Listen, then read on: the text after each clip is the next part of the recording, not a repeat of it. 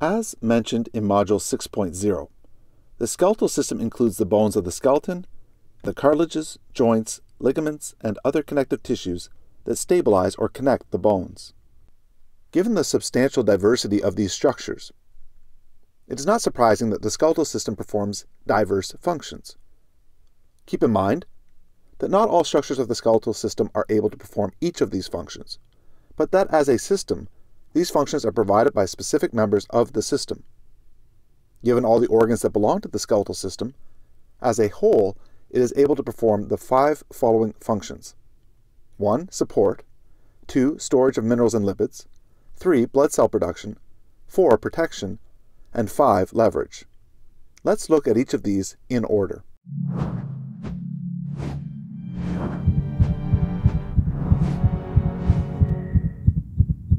One, support. The skeletal system provides structural support for the entire body. Let's specify separately the role of bones, the role of ligaments, and the role of tendons in terms of their function of providing support. Individual bones or groups of bones, for example, provide a framework for the attachment of soft tissues and organs. When it comes to ligaments, ligaments often connect two bones together, most notably in the joints. The ligaments act like strong, firmly attached bands that stabilize a joint and or hold the ends of the articulating bones together. Because of ligaments, the bones at the joint do not twist or move too far away from each other, which would lead to dislocation. Tendons, on the other hand, connect muscles to bone. 2. Storage of minerals and lipids. Bone matrix, or osteoid, is made from calcium salts and phosphate, called hydroxyapatite. The calcium salts of bone serve as a valuable mineral reserve that maintains normal concentrations of calcium and phosphate ions in the body fluids. Thus, for example, when blood calcium levels drop too low, the bone matrix can be broken down to release calcium into circulation. This results in returning blood calcium levels to normal. Conversely, when blood calcium levels are elevated, the excess calcium can be removed from the blood and deposited into new bone matrix. Thus, the bone matrix quite literally serves as a place to store and retrieve certain minerals, such as calcium and phosphate, whose stores can be drawn upon when needed. Moreover, as we will see in upcoming modules, the tissue comprising the center of large bones is called bone marrow. There are two basic types of bone marrow, namely red bone marrow and yellow bone marrow. At birth, all bone marrow is red.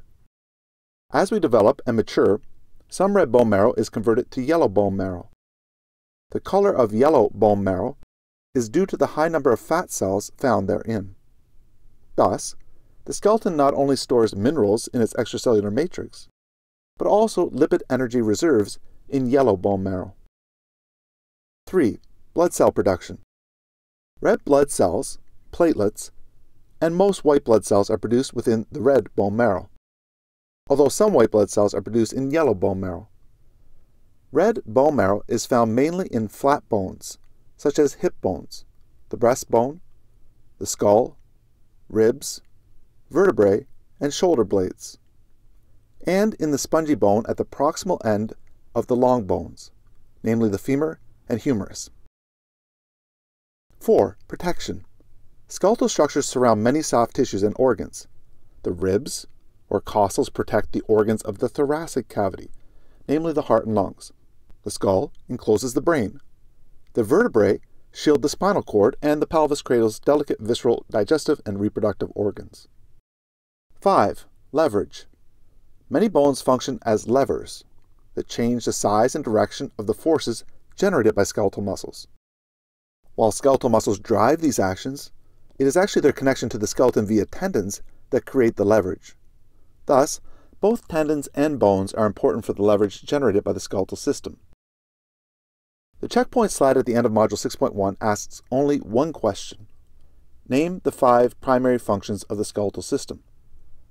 As important as this question is, I have a deeper, more probing question to ask, and it is one that we have answered in Module 6.1.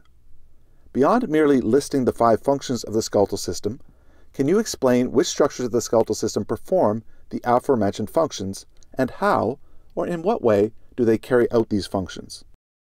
Join me next in Module 6.2 as we discuss the classification of bones by their shape and structure.